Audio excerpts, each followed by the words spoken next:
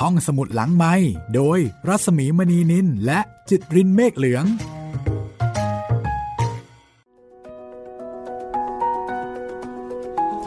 สวัสดีค่ะ ต้อนรับคุณผู้ฟังเข้าสู่ห้องสมุดหลังใหม่นะคะ กลับมาเจอเจอแล้วก็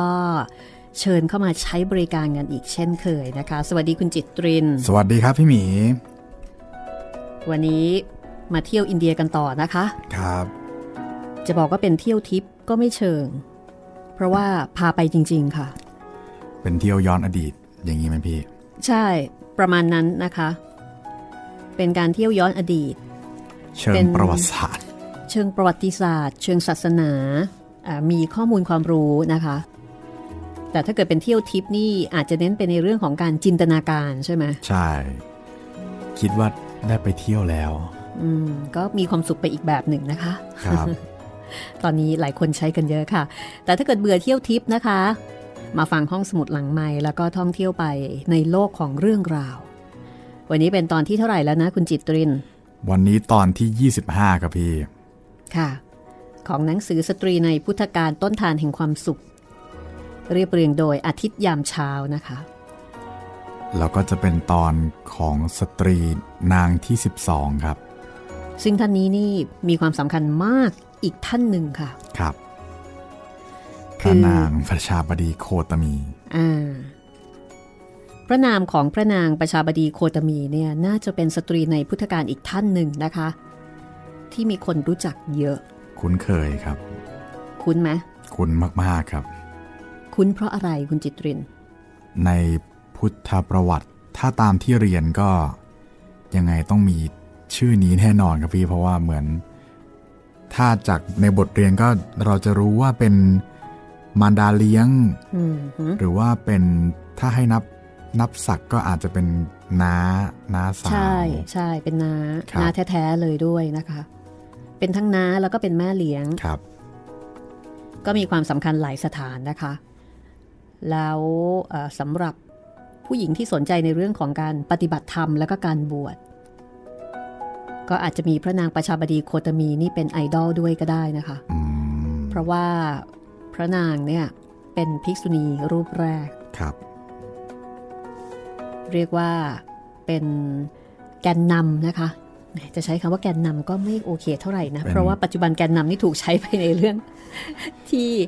ลบๆก็เยอะเรีคืยอกเหว่ามือนกับเป็นผู้ริเริ่ม อ่าผู้ริเริ่มนะคะ ให้ผู้หญิงเนี่ยสามารถที่จะเข้าไปเป็นนักบวชในพุทธศาสนาครับเป็นภิกษุณี วันนี้ค่ะ ลองมาติดตามเรื่องราวของพระนางประชาบดีโคตมี โดยส่วนตัวเนี่ยเราแทบไม่รู้จักอะไรพระนางเลยนะ ทราบแค่ว่าทรงเลี้ยงเจ้าชายสิทธัตถะมา เท่านั้นแค่นั้นเองเท่านั้นเองใช่ แต่ว่าก่อนหน้านั้นอ่าพระนางมีภูมิหลังมายังไงอืมเป็นใครมาจากไหน นิสัยใจคอยังไงครับ อันเนี้ยเราอาจจะไม่ค่อยทราบนะคะ เพราะฉะนั้นวันนี้ค่ะ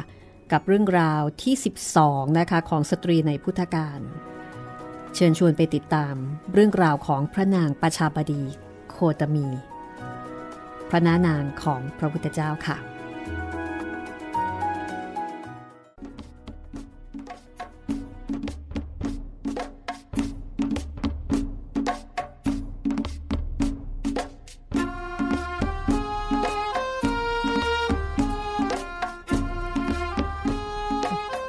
ระนางมหาประชาบดีโคตมี ทรงเป็นพระราชธิดาของพระเจ้าอัญชนะ กษัตริย์แห่งราชวงศ์โกริยะแล้วก็เป็นน้องสาวของเจ้าหญิง มายา หรือเจ้าหญิงสิริมหามายา ชีวิตเมื่อทรงพระเยาว์ขณะประทับอยู่ในพระราชวังเทวทหะแผ่นดินเกิดนั้น ทรงมีความรักความผูกพัน แล้วก็ความภูมิใจ ในพระเชษฐภคินี เจ้าหญิงมายามาก เจ้าหญิงมายานั้น ทรงได้รับการสรรเสริญว่า เป็นยอดแห่งสตรี มีความงามอย่างชนิดที่ไม่อาจจะมีมนุษย์หรือเทวดานางฟ้าใดจะเปรียบปานได้ เจ้าหญิงโคตมีเป็นน้องที่รักพี่มาก ไม่เคยทรงมีความริษยา ต่อพระบุญญาบารมีของเจ้าหญิงมายา ไม่ว่าพระเชษฐคินีจะทรงปรารถนาสิ่งใด พระองค์ในฐานะพระคณิษฐาก็จะทรงหามาถวายให้ ทรงมีชีวิตที่เติบโตบนเวียน อยู่รอบพระเชษฐคินีอย่างมีความสุข โดยไม่เคยห่างไกลจากกันเลย ต่อมาเมื่อเจ้าหญิงมายา ทรงเข้าพิธีอภิเษกสมรส กับเจ้าชายสุดโทธนะแห่งราชวงศ์สักยะ แล้วก็ต้องย้ายจากกรุงเทวทหะมาประทับอยู่ที่กรุงกบิลพัทพระองค์ก็ตามเสด็จพระเชษฐคินีมาประทับอยังพระราชวังในกรุงกบิลพัทด้วย ต่อมาเมื่อเจ้าชายสุดโทธนะ ทรงได้รับพระราชพิธีบรมราชาพิเศษขึ้นเป็นกษัตริย์ เจ้าหญิงมายา ก็ทรงได้รับการสถาปนาขึ้นเป็นพระราชินี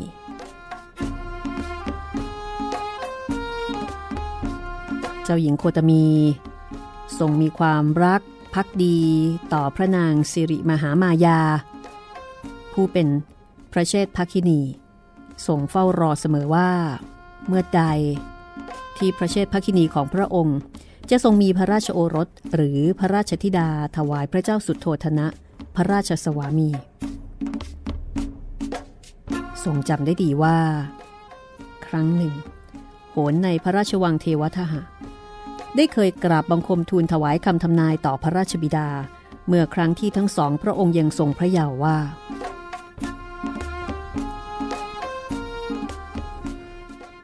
ต่อไปนี้ในการข้างหน้า พระราชกุมารที่จะเสด็จมาประทับในพระคันของเจ้าหญิงมายา จะได้เป็นพระเจ้าจักรพรรดิ จูบจนถึงเวลาที่พระนางสิริมหามายาทรงพระคัน มีพระประสูติการเป็นพระราชกุมาร เจ้าหญิงโคตมีผู้ทรงอยู่ในฐานะของพระนานาง ทรงตื่นเต้นดีพระไทยอย่างที่สุด ทรงหลงรักพระราชกุมารพระองค์นั้นไม่น้อยไปกว่าพระมารดาผู้ทรงให้กำเนิด แต่แล้วเพียงไม่กี่วันหลังจากนั้น ความโศกเศร้า ที่มิอาจจะบรรยายเป็นคำพูด ก็ครอบคลุมไปทั่วพระทัยของเจ้าหญิงโคตมี และทุกผู้ทุกนามในนครกบิลพัทเมื่อพระนางสิริมหามายา พี่สาวที่พระองค์ทรงสนิทเสน่หามากที่สุด เสด็จสวรรคตจากไป ในขณะที่พระราชกุมาร ถือกำเนิดได้เพียงเจ็ดวันเท่านั้น พระเจ้าสุดโทธนะ ทรงเศร้าโศกเสียพระทัยมาก แต่ในฐานะกษัตริย์ที่มีความรับผิดชอบที่ยิ่งใหญ่ทรงสถาปนาเจ้าหญิงโคตมีขึ้นเป็นพระอัครมเหสีแทนและทรงมอบสิทธิ์ขาดในการดูแลพระราชกุมาร ผู้ทรงถูกวางพระองค์ไว้ในตำแหน่งรัชทายาทให้อยู่ในการเลี้ยงดูของพระนางมหาประชาบดีโคตมี พระอัครมเหสีพระองค์ใหม่โดยทรงมองไม่เห็นผู้ใดที่จะทรงไว้วางพระราชหฤทัยได้มากเท่านี้อีกแล้ว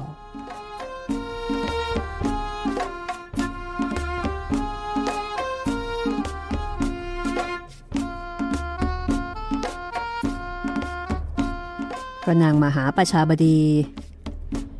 ทรงรู้สึกรักและสงสารพระกุมารน้อยจับจิตใจ ทรงตั้งพระทัยอย่างเด็ดเดี่ยวว่า จะเลี้ยงดูพระกุมารอย่างดีที่สุด แม้ว่าต่อไปภายภาคหน้า พระองค์จะทรงมีพระราชโอรส หรือพระราชธิดาของพระองค์เองก็ตาม แต่ความสำคัญของพระราชกุมารพระองค์นี้ จะต้องมาก่อนและเป็นที่สุดเสมอ ระราชกุมาร ผู้ได้รับการเฉลิมพระนามว่า เจ้าชายสิทธัตถะ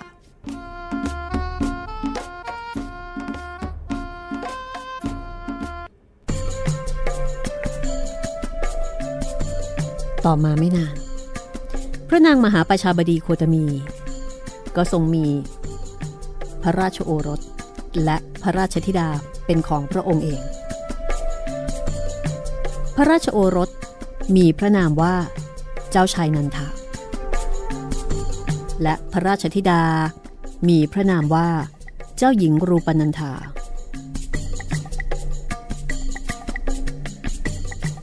แน่นอนว่าในฐานะแม่ ทรงรัก พระราชโอรสและพระราชธิดา ซึ่งเป็นสายโลหิตของพระองค์อย่างสุดพระทยัยแต่ก็ทรงรักเจ้าชายสิทธัตถะ และก็ทรงทุ่มเทเวลา ให้กับเจ้าชายสิทธัตถะมากที่สุด และยังทรงอบรมสั่งสอน ให้พี่น้องทั้งสองพระองค์ คือเจ้าชายนันทะและเจ้าหญิงรูปนันธามีความรักความเคารพในเจ้าชายสิทธัตถะผู้ทรงเป็นพระเชษฐาพระองค์ใหญ่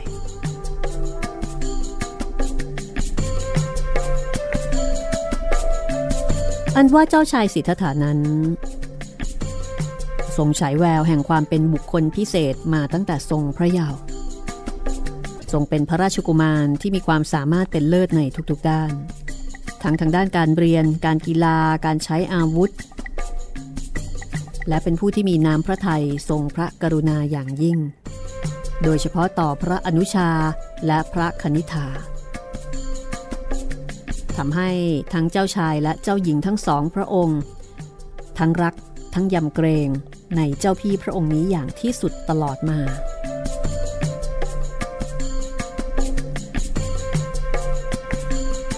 เมื่อเจ้าชายสิทธัตถะทรงมีพระชนครบ 29พรรษา ก็เกิดเหตุที่ไม่มีใครคาดคิด นั่นคือการที่พระองค์ทรงหนีจากพระราชวัง เพื่อเสด็จออกบวช หรือที่เรียกว่าออกมาหาพิเนสกรม และหลังจากนั้น 6 ปี ก็ทรงทำให้โลกธาตุสั่นสะเทือน ด้วยการตรัสรู้เป็นพระพุทธเจ้า เมื่อได้สดับข่าวนี้ ทั้งพระเจ้าสุดโทธนะ และพระนางมหาประชาบดี ทรงมีความปรารถนาอย่างยิ่งที่จะได้พบพระราชบุตร แต่แม้ว่าจะทรงเป็นพระราชบิดา และพระน้านาง หรือพระมาตุชา ผู้ทรงทำหน้าที่อุ้มชูเจ้าชายสิทธัตถะมาตั้งแต่เล็กแต่น้อย แต่ทั้งสองพระองค์ ก็ต้องทรงอดทนรอคอยถึงหนึ่งปีเต็ม กว่าที่พระพุทธเจ้า จะเสด็จมาเพื่อโปรดพระประยุรญาตอย่างกรุงกบิลพัท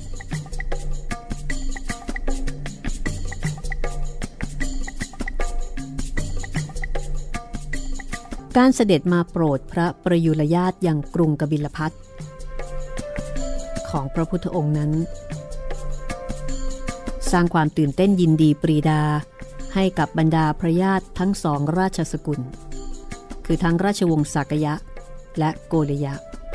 เพราะว่าเจ้าชายสิทธัตถะทรงจากแผ่นดินเกิดไปนานถึง 7 ปีเต็ม และเมื่อกลับมาอีกครั้ง พระองค์กลับมาพร้อมพระอรหันตสาวกถึงสองหมื่นองค์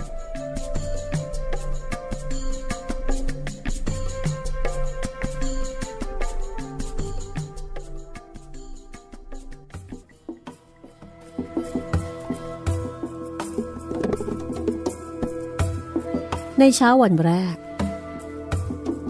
นับจากเมื่อวาน ที่พระพุทธองค์เสด็จมาถึงกรุงกบิลพัท ทรงแสดงธรรมโปรดพระเจ้าสุโธธนะ พระพุทธบิดา จนพระเจ้าสุโธธนะ บรรลุพระโสดาบัน กลางถนนที่เสด็จบินทบาท และวันรุ่งขึ้น พระองค์เสด็จตามคำกราบบังคมทูลนิมนต์เพื่อเสวยพระกยาหารอย่างพระราชทาน พระองค์เสด็จไปพร้อมพระอรหันตสาวก ทั้งสองหมื่นองค์ การเสด็จไปครั้งนี้ ทรงมีพระประสงค์ที่จะโปรดพระนานางเป็นพิเศษ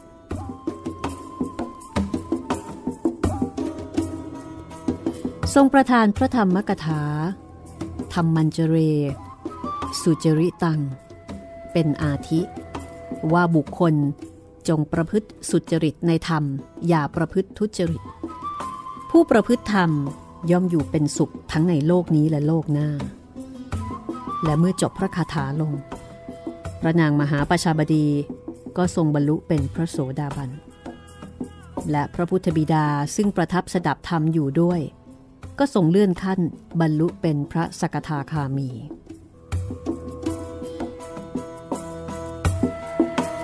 เช้าวันที่สาม ระพุทธองค์เสด็จยังพระราชวังกรุงกบิลพัทพร้อมด้วยพระอรหันตสาวกอีก คราวนี้ พระเจ้าสุดโทธนะ กราบทูลว่า ข้าแต่พระองค์ผู้เจริญ เมื่อครั้งที่พระองค์ทรงทำทุกขกิริยาอยู่นั้น มีเทพยดาองค์หนึ่ง มาปรากฏกลางอากาศ แล้วบอกกับหม่อมฉันว่า พระราชบุตรของพระองค์มีได้เสวยพระกรยาหารทั้งสิ้นเป็นเวลาหกวันทำให้พระวรกาย แห้งเหี่ยว เหมือนดอกบัวในกองขยะที่เขาเอาไปเผา บัดนี้ พระราชบุตรนั้น ได้สิ้นพระชนเสียแล้วในทางเดินจงกรม ทันทีที่ได้ยิน หม่อมฉันรู้สึกเหมือนมีใคร เอาเหล็กแหลมแทงเข้ามาในช่องโสดทั้งสอง ร้องตอบออกไปว่า เราไม่เชื่อท่าน ตราบใดที่พระโอรสของเรายังไม่บรรลุพระสัพพัญยุตยาน ตราบนั้น พระองค์ไม่มีวันจะสิ้นพระชนเป็นอันขาด แต่เทวดา ได้ตอกย้ำกลับมาว่า พระราชบุตรของพระองค์ สิ้นพระชนแล้วจริง ๆ กระนั้นหม่อมฉันก็ยังคิดว่า ต่อให้พระอาทิตย์ตกในเวลาเที่ยงวันให้เห็นกับตา การบรรลุพระสัพพัญยุตยานของพระองค์ ก็จะต้องเกิดขึ้นก่อนสิ้นพระชนชีพ สิ่งนี้ ไม่มีวันแปรปรวนเป็นอื่นได้เยื่อใยความรักความผูกพันที่บิดามีตบุตรนั้นทำให้บังเกิดพลังมหาศาลได้อย่างน่าอัศจรรย์ เพราะเมื่อพระพุทธองค์ได้ตรัส มหาธรรมปาลชาดกถวายพระพุทธบิดาว่า ในครั้งที่พระองค์ ยังทรงเป็นพระโพธิสัตว์อยู่ในภพหนึ่งนั้น ได้จากบ้านไปเรียนอยู่ในสำนักของอาจารย์ที่สาป่าโมก มีอาจารย์ท่านหนึ่ง ได้นำเอากระดูกแพะมาแสดงแก่บิดา แล้วก็แจ้งว่า บุตรของท่านได้เสียชีวิตแล้ว แต่บิดาก็มิได้เชื่อ ในอดีตการเป็นเช่นไร ปัจจุบันพระบิดา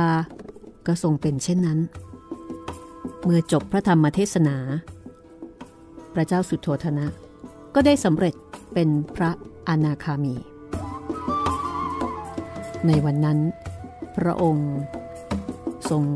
เสด็จไปยังพระตำหนักของพระนางเยโสธราพิมพาด้วยทรงเทศนาจันทากินรีชาดกด้วยพระไทยกรุณา จนพระนางบรรลุเป็นพระโสดาบัน ในวันที่สี่ ราชวงศ์สักยะและโกริยะร่วมกันจัดงานอภิมงคล โดยจัดควบทีเดียวสองงาน นั่นคืองานฉลองปราศาสตร์ใหม่และงานอภิเษกสมรส ระหว่างเจ้าชายนันทะ ผู้ทรงเป็นพระราชโอรสของพระนางมหาประชาบดีโคตมี กับเจ้าหญิงชนบทกัลยาณี ผู้ทรงมีความงามเป็นเลิศ งานนี้ เจ้าชายนันทะ พระพุทธอนุชา ไม่ทรงมีโอกาสได้เสด็จเข้าห้องหอ เพราะว่า เมื่อพระพุทธองค์เสวยพระกยาหารเสร็จแล้ว ทรงประทานบาทให้แก่เจ้าชายนันทะ เพื่อที่พระองค์จะได้ตรัสมงคลคาถาอวยพรแก่พระประยุรญาติแต่หลังจากที่ทรงลุกจากพระอาสนะแล้ว ได้เสด็จลงปราศาสตร์ และทรงพระดำเนินต่อไป โดยมิทรงขอรับบาทคืนจากพระอนุชาทำให้เจ้าชายนันทะต้องทรงถือบาทตามเสด็จ โดยทรงคิดในพระทัยว่า พระเชษฐาคงจะทรงรับบาทคืนเมื่อถึงหน้าประตูปราศาสตร์แต่พอถึงหน้าประตูปราศาสตร์พระพุทธองค์ก็ยังมิตรัสสิ่งใดทำให้เจ้าชายนันทะ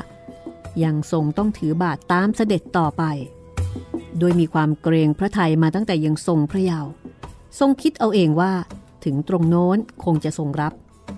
และเมื่อยังไม่ทรงรับ ก็คิดว่าทัดไปอีกหน่อย คงจะทรงรับ หรือไม่ก็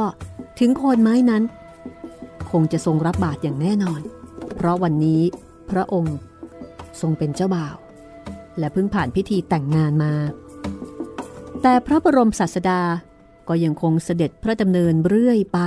โดยไม่ตรัสสิ่งใดเลย เจ้าชายนันทะจึงต้องถือบาทตามเสด็จไป ด้วยอาการสงบ และก็ไม่ตรัสสิ่งใดเลยอีกเช่นกัน หากในพระไทยของผู้ที่ทรงเป็นเจ้าบ่าวหมาดๆนั้น ทั้งร้อนรุ่ม กระสับกระส่ายและกระบนกระวายยิ่งนัก ทรงคิดถึงแต่เจ้าหญิงชนบทกัลยาณี ที่เยี่ยมพระพักมาตรัสสั่งว่า ข้าแต่พระลูกเจ้า ขอพระองค์ รีบเสด็จกลับมาโดยด่วนนะเพคะ ตราบจนลุถึงนิโครธารามที่ประทับ พระเชษฐาบรมศาสดา จึงทรงมีพระกรุณาตรัสกับเจ้าชายนันทะว่า นันทะ เธอจะบวชหรือ เมื่อได้ยินคำถามเช่นนั้น เจ้าชายนันทะ รู้สึกเหมือนมีสายฟ้าฟาดลงกลางหาไทย จะต้องกราบทูลปฏิเสธให้ชัดเจนลงไป เพราะทรงคิดถึงเจ้าหญิงชนบทกัลยาณีผู้เป็นเจ้าสาวเสียเหลือเกิน แต่เมื่อเพเยอพระโอษฐ์จะต่อไป เจ้าชายหนุ่ม กลับตรัสต่อไปในทิศทางตรงกันข้ามด้วยความเกรงพระทัยว่า พระพุทธเจ้าค่ะ ข้าพระองค์จะบวช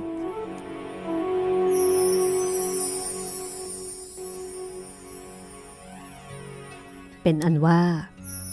เจ้าชายนันทราชกุมารทรงออกบวช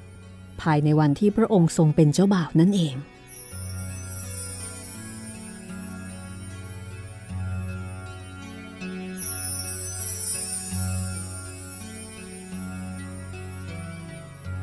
ทางด้านของพระเจ้าสุดโทธนะนั้น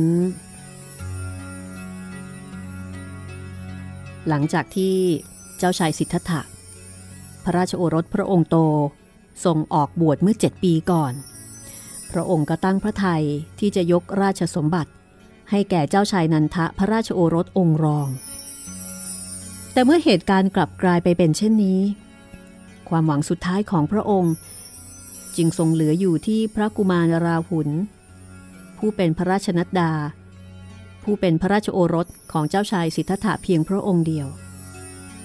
แต่แล้วในวันที่ 7 ของการเสด็จเยือนกรุงกบิลพัทพระพุทธองค์ก็ทรงมีรับสั่งให้พระสารีบุตรทำการบรรพชาให้แก่พระกุมารบราหุลผู้ทรงมีพระชนเจ็ดพรรษา ให้ทรงเป็นสามเณรรูปแรกในพระพุทธศาสนา เรื่องนี้ จึงทำให้พระเจ้าสุดโทธนะทรงเสียพระทัยมาก ที่ไม่ทรงเหลือพระทายาทสายตรง ในการที่จะสืบทอดราชบัลลังก์จากพระองค์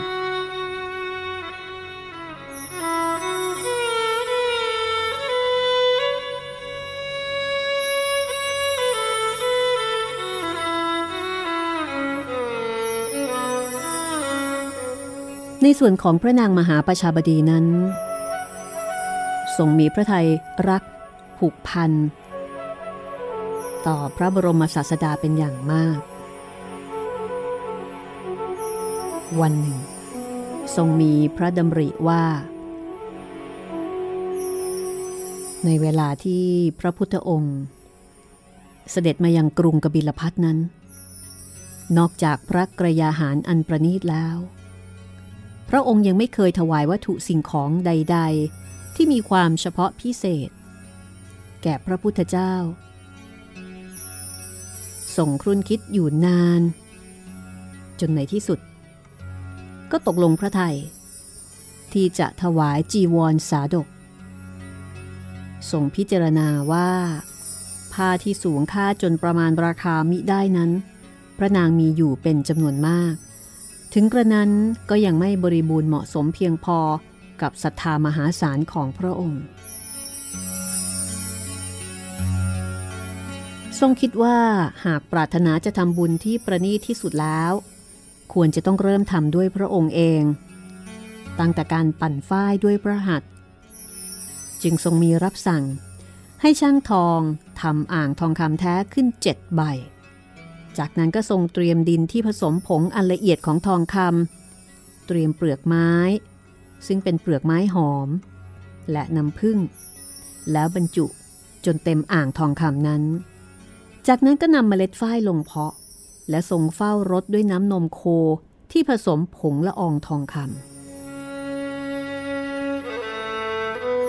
เมื่อต้นฝ้ายเจริญเติบโตจนออกดอกและแก่จัด ได้แตกออกเป็นปุยฝ้ายซึ่งมีสีเหลือง ราวสีทองคำสุก พระองค์ทรงเก็บฝ้ายด้วยพระหัตถ์ของพระองค์เอง ใส่ลงในพระอบทองคำทรงเลือก หีบ ดีด และปั่นฝ้ายเอง โดยไม่ได้มีผู้ใดช่วยเลย จนกระทั่งได้เส้นได้ละเอียดที่มีสีเหลืองดุดทองคำเป็นจำนวนที่มากเพียงพอ จึงทรงหาช่างหูฝีมือเลิศ เมื่อช่างมาแล้ว ก็มีรับสั่งให้ช่างชำระล้างร่างกาย ให้สะอาดหมดจด ให้รับประทานอาหารอย่างดีที่สุด แล้วส่งประทานเสื้อผ้าพร้อมเครื่องประดับที่งดงามให้เขาสวมใส่ ทั้งหมดนี้ก็เพื่อให้จิตใจของช่างนั้น เบิกบานมีความสุข จากนั้นก็ทรงมีรับสั่งให้คาดเพดานโรงหูกภายในพระราชวังด้วยผ้า แล้วห้อยประดับดอกไม้ที่มีกลิ่นหอม ซึ่งร้อยกรองอย่างประณีต พระนางเสด็จมาที่โรงหูพร้อมสตรีผู้เป็นบริวารทุกวัน เพื่อทอดพระเนตรการทอผ้า โดยไม่เคยทรงหยุดเลย แม้แต่วันเดียว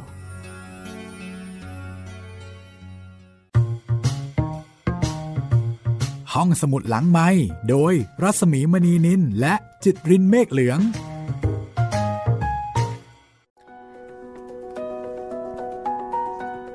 เริ่มต้นแบบเบาๆนะคะสำหรับเรื่องราวของพระนางมหาประชาบดีโคตมี ในฐานะของพระนานางของพระพุทธเจ้าค่ะ จากหนังสือสตรีในพุทธการต้นทานแห่งความสุขที่เรียบเรียงโดยอาทิตย์ยามเช้า ที่วันนี้นำเสนอเป็นตอนที่ 25 แล้วค่ะ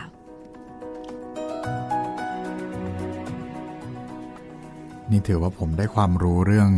เจ้าชายนันทะไปในตัวด้วยเลยนะครับพี่ เพราะว่าตอนเรียนก็ไม่ได้มีสอนเกี่ยวกับเรื่องนี้ไว้เหมือนกัน ประเด็นไหนที่คุณจิตรินประทับใจ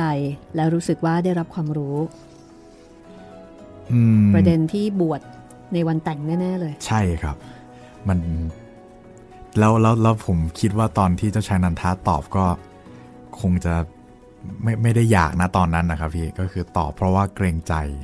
เราจะเห็นภาพเลยนะว่า คือเห็นภาพของของคือนึกถึงความรู้สึกได้ว่าคงอึกอักอึกอักแบบ เอ๊ะเอาไงดีครับ พระพุทธเจ้าก็ไม่พูดอะไรเลย ทางด้านเจ้าชายก็เกรงใจ ก็อุ้มบาทเดินตามครับ ระหว่างนั้นก็คงจะคิดไปต่าง ๆ นานาว่าเอ๊ะเอ๊ะทำไม ท่านไม่พูดอะไรกับเราบ้างเลยว่าจะให้เราวางบาตรตรงไหนจะรับบาตรไปเมื่อไหร่ทำตัวไม่ถูกทำตัวไม่ถูกแบบเอ๊ะยังไงกันแน่ แล้วอยู่ๆพระพุทธเจ้าก็ถามประโยคที่แบบโอ้โหปังเลยนะคะ เธอจะบวชหรือจะบวชหรือโอ้โหสั้น ๆเลยค่ะ ก็ อยากจะตอบอีกแบบหนึง่งแต่ปรากฏว่า กลับตอบไปอีกแบบหนึ่ง ซึ่งตรงกันข้ามกันอย่างสิ้นเชิงครับสำหรับเจ้าชายนันทานี้นะคะ ก็มีประวัติระบุว่า หลังบวชเนี่ยค่ะ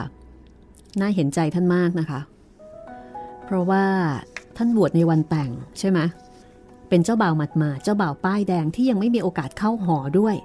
และเจ้าหญิง หรือว่าเจ้าสาวเนี่ยก็สวยแบบเป็นคนที่สวยมากด้วย คือยังมีพันธะทางโลกอยู่ มากต้องบอกมากโอ้ครับแหมคุณคิดดูคุณแต่งงานแล้วเจ้าสาวก็สวยครับ แล้วคุณยังไม่ได้เข้าหอเลยอะ่ะคุณแค่ผ่านงานแต่งในแค่ในระดับของพิธีกรรม แล้วเจ้าหญิงก็รออยู่ ก็หลังจากการบวชนะคะ ก็มีกล่าวว่าเอ่อท่านพระนันทเถระเนี่ย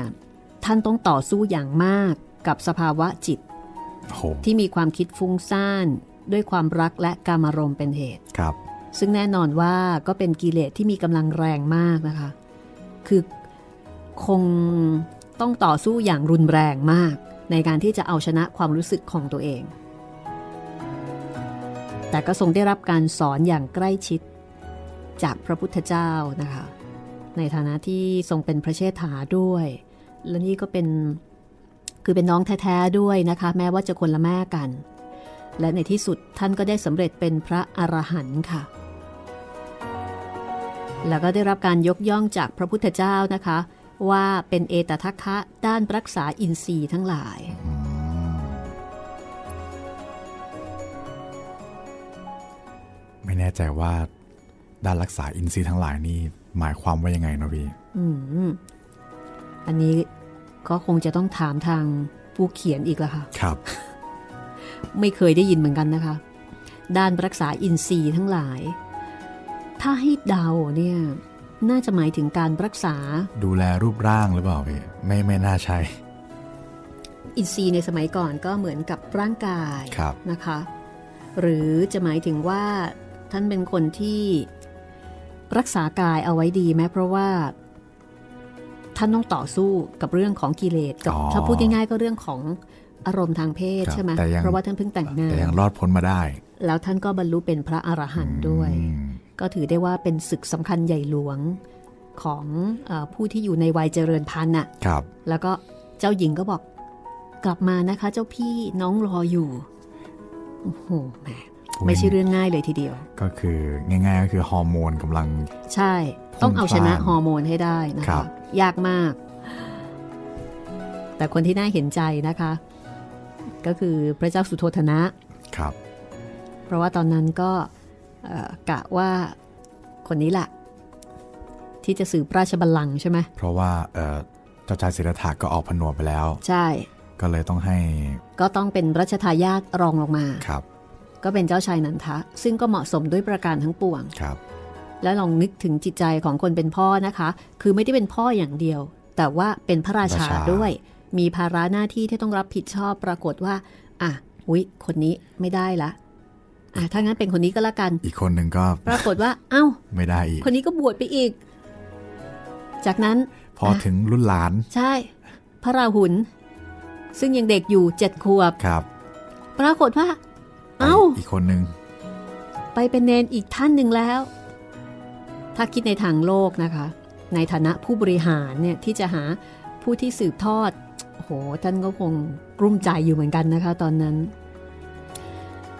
แต่ในส่วนของพระนางมหาประชาบดีโคตมีเนี่ยค่ะ ในฐานะที่เอ่อพระองค์ก็ก็ต้องบอกว่าพระองค์ก็เป็นพระราชินีอะนะครับ ในหนังสือนี่บอกว่า พระองค์ไม่ได้รู้สึกกลุ้มใจเหมือนกับพระเจ้าสุโธธนะ แต่ตรงกันข้ามค่ะ ทรงรู้สึกปิติยินดีนะคะ ที่เจ้าชายนันทะราชโอรสแล้วก็พระกุมารบราหุลผู้เป็นหลานเนี่ยสละทางโลก แล้วก็ออกบวชตามพระพุทธเจ้า คือกลายเป็นว่าคนที่กลุ้มใจคือพระเจ้าสุโธธนะ แต่พระนางมหาประชาบดีเนี่ยยินดีค่ะ อนุโมทนาสาธุเลย แล้วก็จะเห็นว่าการทอผ้าของพระองค์นี่โอ้โหโอ้อลังการมาก อลังการมากนึกถึงตอนนั้นเลยอะอืมตอนนางสุชาดาไงอ๋อที่เลี้ยงโคอะอ๋อใช่ใช่ไหมครับโอ้สเกลพอๆกันเลย ใช่ จะเห็นได้ว่าโอ้โหคนแตะก่อนเวลาเขาจะทำอะไรนี่เขาเก็บทุกเม็ดเลยนะครับ ละเอียดมาก เอาละค่ะ เดี๋ยวเราไปติดตามฟังกันต่อนะคะ โดยเฉพาะในเรื่องของการทอผ้าค่ะ ยังมีต่อ มีต่อค่ะ คือเหมือนกับว่าท่านตั้งใจมากอะเนาะครับว่าในฐานะที่เป็นคนที่เลี้ยงดูมาอืมแล้วก็ทรงรักเจ้าชายสิทธัตถะเนี่ยมาก เพราะฉะนั้นสิ่งที่จะถวายพระพุทธเจ้าเนี่ยจึงมีความหมายหลายในยะนะคะ ก็เป็นการทอผ้าที่มีความพิเศษมาก ๆ เลย เดี๋ยวมาติดตามฟังกันต่อนะคะว่า ผลผลิตจากการทอผ้า ที่ทรงควบคุมดูแลเองตั้งแต่ตอนปลูกฝ้ายเนี่ยนะคะ ได้ผลผลิตออกมาเป็นอย่างไรค่ะ กับเรื่องราวของพระนางมหาประชาบดีโคตมีค่ะ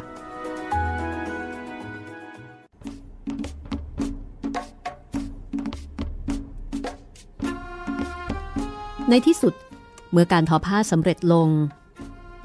ก็ได้ผ้าสองผืน ที่มีความยาวผืนละ 14 ศอก และกว้าง 7 ศอก ได้ผ้าที่มีเนื้อเนียนละเอียด และมีสีที่สุกสกาวราวกับทองคำทั้งยังมีความนุ่มละมุนละไมยามสัมผัส พระนางมหาประชาบดีโคตมี ทรงมีความพึงพอใจยิ่งนัก ทรงคิดว่า ผ้าอันทรงคุณค่านี้ เหมาะสมเป็นอย่างยิ่ง เฉพาะพระผู้มีพระภาคเจ้าเท่านั้น ทรงบรรจงพับผ้าใส่ในพระอบแก้ว แล้วรับสั่งให้จัดผ้าสาดกชั้นดี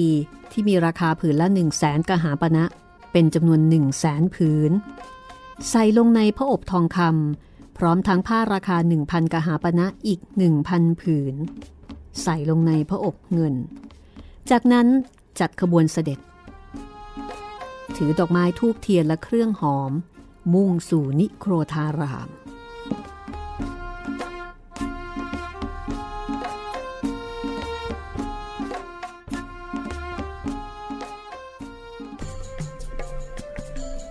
พระผู้มีพระภาคเจ้า ซึ่งขณะนั้น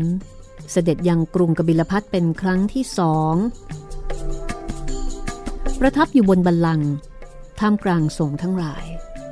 เมื่อขบวนเสด็จมาถึง พระนางมหาประชาบดีทอดพระเนตรเห็นพระพุทธเจ้า ความงดงามอันสูงส่งทำให้พระนางทรงบังเกิดความปิติ ไปทั่วสารพาง เมื่อกราบถวายบังคมแล้ว เปิดพระอบแก้ว ออกกราบทูลพระพุทธองค์ว่า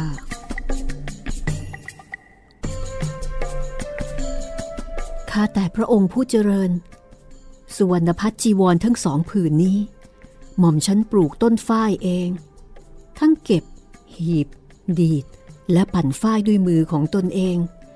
ด้วยความปรารถนาจะน้อมกล้าวถวายแด่พระองค์ ขอทรงพระกรุณา อนุเคราะห์ รับภูษาทั้งคู่ที่หม่อมฉันเพียรพยายามนี้ เพื่อประโยชน์และความสุขแก่หม่อมฉันสิ้นการละนานเถิด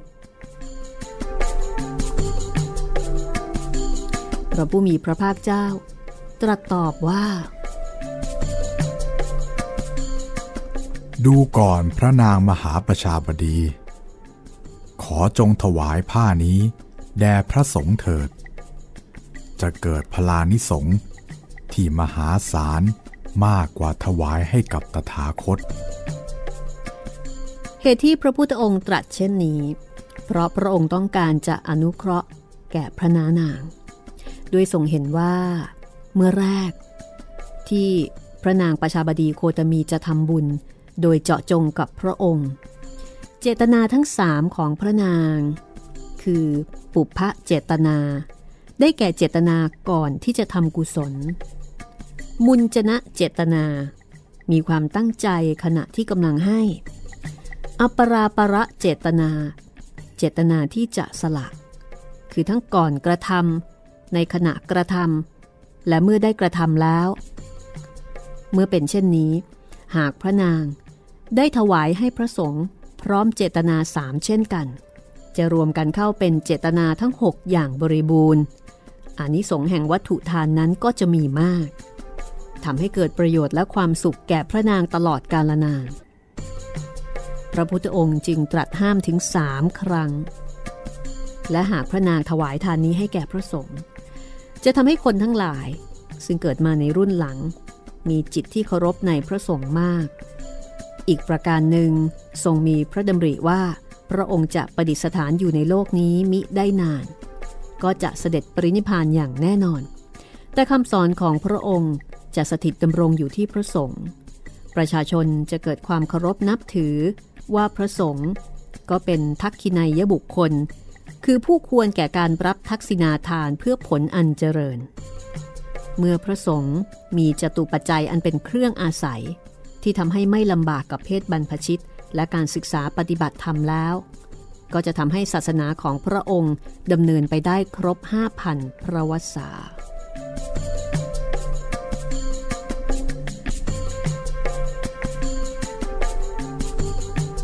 แต่ในเบื้องต้นพระนางยังไม่เข้าพระทยัยเมื่อสดับฟังการปฏิเสธของพระบรมศาสดาแล้วก็ทรงนิ่งไปชั่วขณะ แต่แล้วก็เฝ้ากราบทูล ให้พระองค์ทรงรับจีวรคู่ที่พระนางจะถวายอยู่เช่นเดิมอีกถึงสองครั้ง แต่พระพุทธเจ้าก็ยังคงยืนยัน ยืนยันเช่นเดิมไม่เปลี่ยนแปลง ว่าให้พระนางนำผ้านี้ไปถวายแด่พระสงฆ์พระนางมหาประชาบดีทรงเสียพระทัยและเศร้ามาก ได้เสด็จตามไปหาพระอานนท์จนพบ แล้วก็ทรงเล่าเรื่องให้ฟัง จากนั้นก็ตรัสวิงวอนขอให้พระอานนท์นั้น กราบทูลถามพระบรมศาสดาว่า พระนางทำสิ่งใดผิด พระองค์จึงทรงไม่รับภูษาที่พระนางตั้งใจนำมาถวายเช่นนี้ พระอานนท์จึงเข้าเฝ้าพระพุทธเจ้า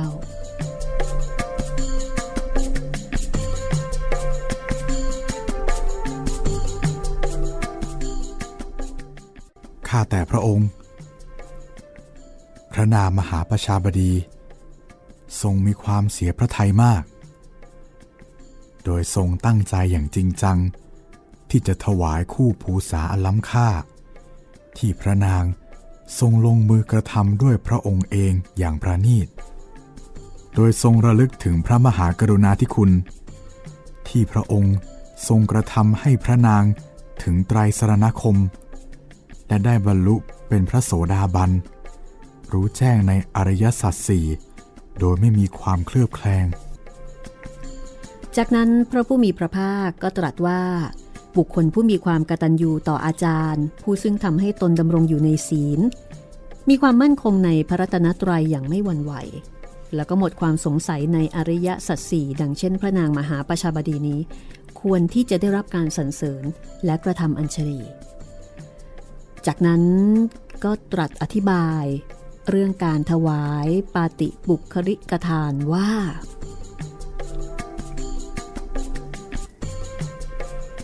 ดูก่อนอานนท์ทักขินาทาน เพื่อปาติปุคลิกทานมี 14 ประการ ได้แก่ ทานที่บุคคล ถวายแก่พระสัมมาสัมพุทธเจ้า เป็นปาติ ปุคลิกทานที่หนึ่งทานที่บุคคล ถวายแก่พระปัจเจกพุทธเจ้า เป็นปาติปุคลิกทานที่สองทานที่บุคคล ถวายแก่พระอรหันตสาวก เป็นปาติปุคลิกทานที่สามทานที่บุคคล ถวายแก่ผู้บำเพ็ญเพียร เพื่อทำให้แจ้งพระอรหัตผล เป็นปาติปุคลิกทานที่สี่ทานที่บุคคล ถวายแก่พระอนาคามี เป็นปาติปุคลิกทานที่ห้า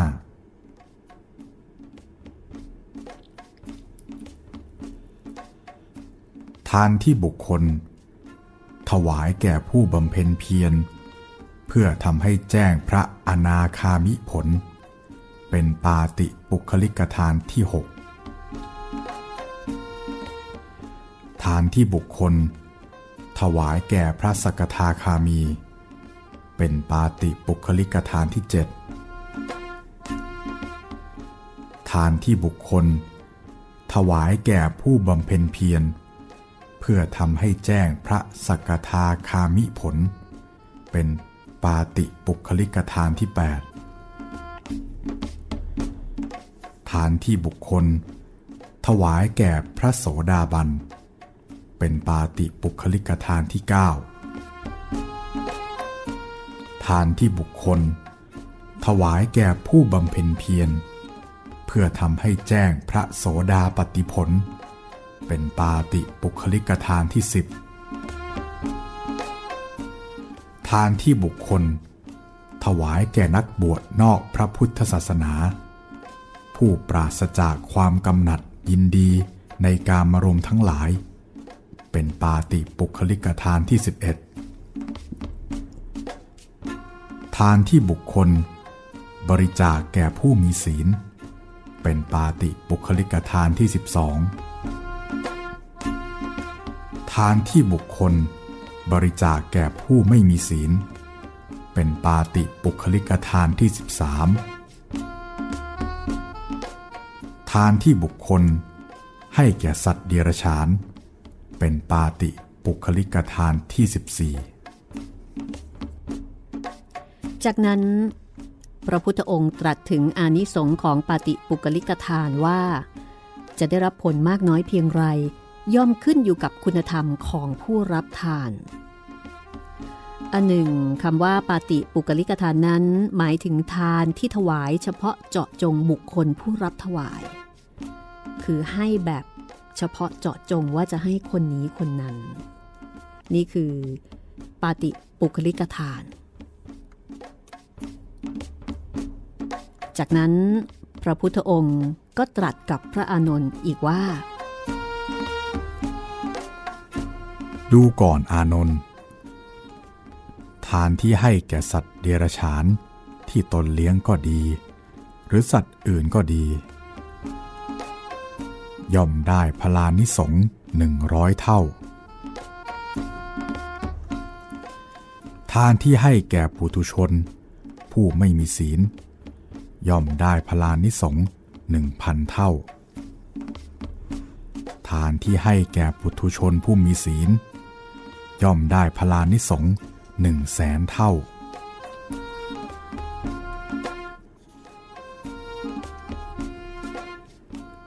ทานที่ถวายแก่นักบวชนอกพระพุทธศาสนา ผู้ปราศจากความกำหนัดยินดีในการมรมทั้งหลาย ย่อมได้พลานิสงหนึ่งแสนโกดเท่า ทานที่ถวายแก่ผู้บำเพ็ญเพียร พื่อทำให้แจ้งพระโสดาปติผล ย่อมได้พลานิสงเป็นอสงไขยที่นับประมาณเป็นเวลามิได้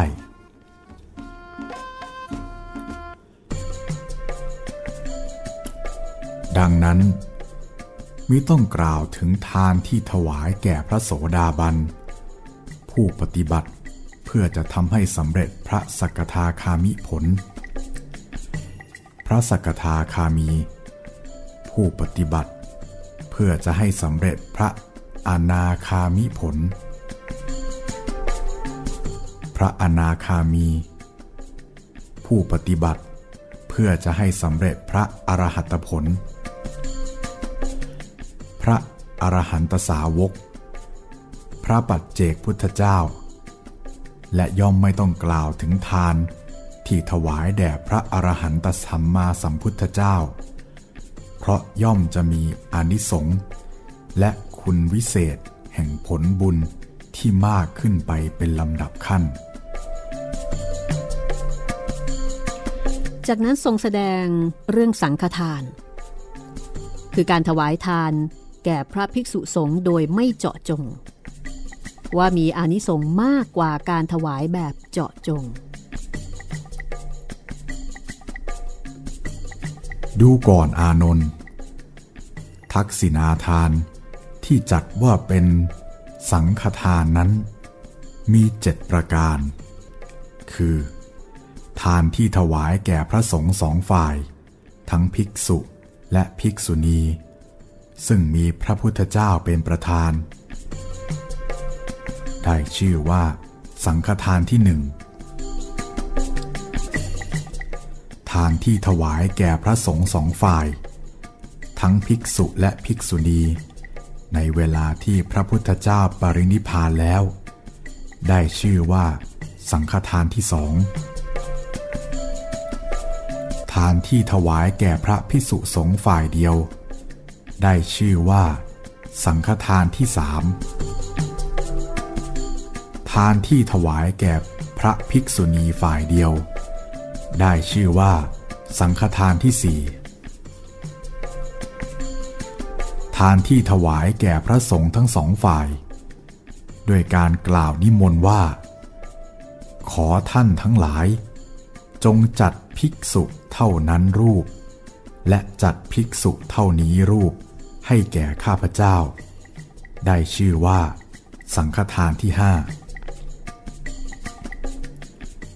ทานที่ถวายแก่พระภิกษุสงฆ์ซึ่งขอจากสำนักภิกษุสงฆ์โดยการกล่าวนิมนต์ว่า ขอท่านจงจัดภิกษุสงฆ์เท่านี้รูปให้แก่ข้าพเจ้า ได้ชื่อว่า สังฆทานที่หกทานที่ถวายแก่พระภิกษุณี ซึ่งขอจากสำนักภิกษุณีสงฆ์ โดยการกล่าวนิมนต์ว่า ขอท่านจงจัดภิกษุณีสงฆ์เท่านี้รูปให้แก่ข้าพเจ้า ได้ชื่อว่า สังฆทานที่เจ็ด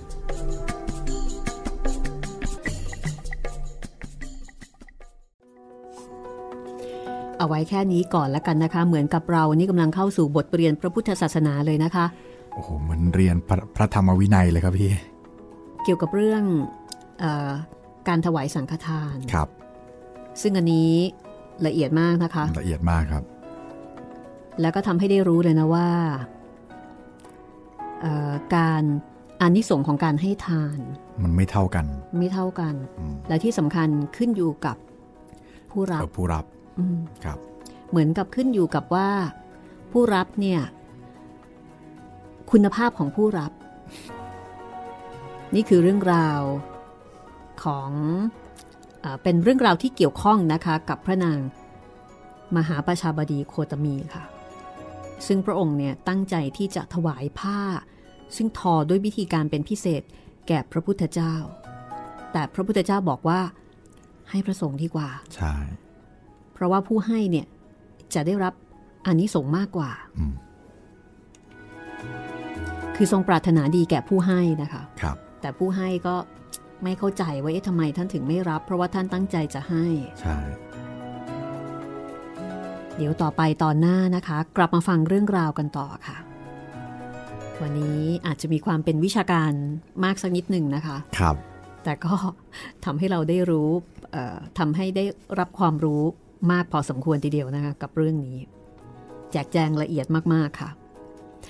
เอาละค่ะ นี่คือเรื่องราวจากหนังสือสตรีในพุทธการต้นทานแห่งความสุขเรียบเรียงโดยอาทิตย์ยามเช้าค่ะ เรื่องราวที่ให้ทั้งความรู้ข้อคิดนะคะ แล้วก็ให้ข้อมูล เกี่ยวกับเรื่องของพระธรรมวินัยด้วยนะคะ วันนี้เราสองคนลาไปก่อนนะคะ สวัสดีครับ สวัสดีค่ะ